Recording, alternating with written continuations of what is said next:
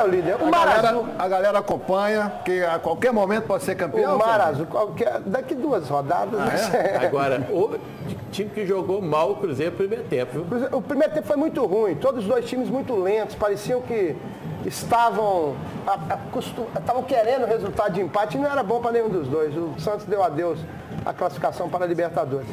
Mas aí o Cruzeiro deu uma acordadinha, só que nesse lance aí, gente, olha que lance. Olha o Samúdio dando condição para o Gabriel. Como é que o cara perde um gol desse, meu Deus do O, céu? o Manuel teve uma boa Ah, recuperação, o Manuel tinha saído. Mas o Samúdio ele não marca, ele não cruza, não chega tá ruim demais, cara. Muito mal Só mesmo. quer dar pancada e, e brigar. Muito mal mesmo.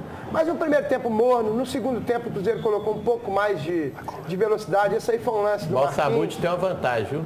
Ele joga mal, depois pede desculpa. É, isso é bom. né? Esse aí já é o segundo tempo, logo no comecinho, o Cruzeiro colocou, imprimiu uma velocidade numa jogada que o Cruzeiro está acostumado a fazer com o do gol de ouro aí do Ricardo Goulart e o William fizeram uma tabela e Aos- saiu 3209 8002. Aos sete minutos do segundo tempo e depois o time suportou uma certa pressão do, do, do Peixe Não, teve eu, chance. nem, né? eu- eu nem acho que teve pressão. Eu acho que o Cruzeiro sabia que o Santos não, não iria chegar. Você vai ver que o Fábio fez uma defesa só no jogo, uma defesa de cabeça. O Cruzeiro teve chance sim de fazer o Ali segundo. é o Foi falta amarelo aí? do Henrique. É o amarelo do Henrique tirou o Henrique do próximo jogo. Eu acho que ele deixou o Grêmio. braço mesmo. Deu aquele. E o Marcelo Moreno tapinha. também tomou amarelo, mas o Marcelo Moreno já não jogaria, Que tá? isso, mano?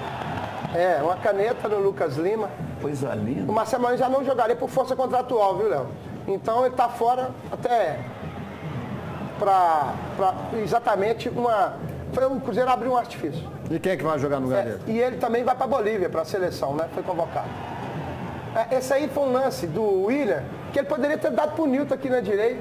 Ele Agora, foi o, bater. o Henrique deu uma mudada no segundo tempo Muito, também. o Henrique né? faz muita falta, mas não é. O Henrique está muito bem.